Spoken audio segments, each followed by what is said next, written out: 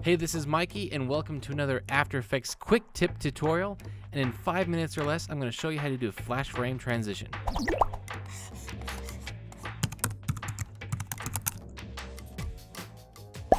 So here's my footage. I have some leaves falling, and I want to transition it to more leaves falling.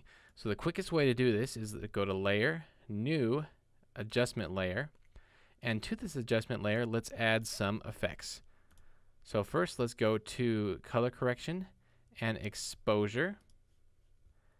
Then let's go to stylize, glow.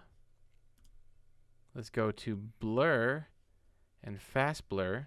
And then last, we go to distort and transform. So let's take all these and collapse them. And let's just do one at a time. So at this point right here is where I want the transition to to be at its peak. So let's go back. Let's do a one second transition. So let's go back 12 frames. And right here we start and let's keyframe the exposure, the master exposure, the glow intensity, the blurriness, and let's turn on repeat pixel edges, and then the scale. Now let's go forward to the one second mark. And now let's go into these effects.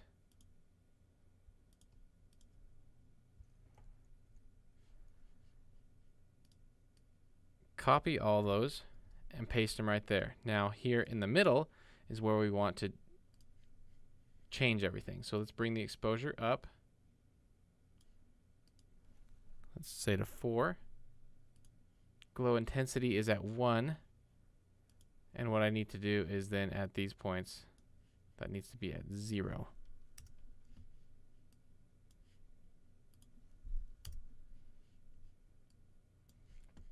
Blurriness, let's go to 50. And then scale set to 110.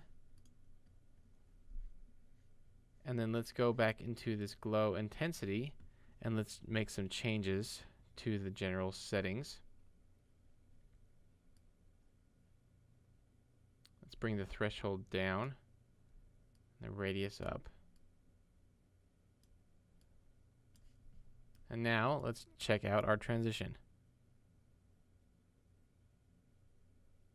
Let's watch that in normal speed.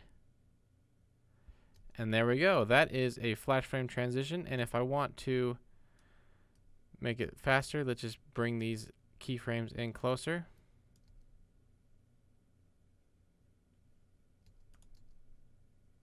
And that's a faster transition.